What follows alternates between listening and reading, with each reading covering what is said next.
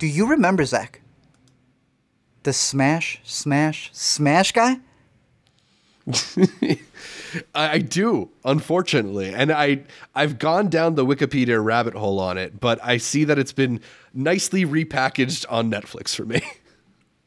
Yeah, this is your Wikipedia 87 minute, as we call it, Netflix doc that just lets you know the crazy story of an individual that may have been a meme once and uh, how dark it actually went. Uh, I remember obviously the meme of him saving and rescuing somebody with a hatchet when someone was trying to hurt someone in a vehicle and this hitchhiker came into play. It was everywhere. Schmoyoho did that whole breakdown of the song. Everyone sang it.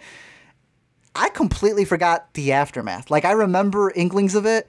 You now have a Netflix doc to break all that down for you. It is your standard by the numbers. Uh, here's the problem with the Netflix docs is that the documentarian pretends to be making a point as if they're not guilty of the point that they're trying to make as well by making this documentary. So uh, Right.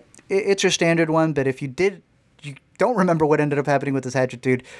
It's pretty wild. But again, just a basic doc. Also taking advantage of him, like many others did.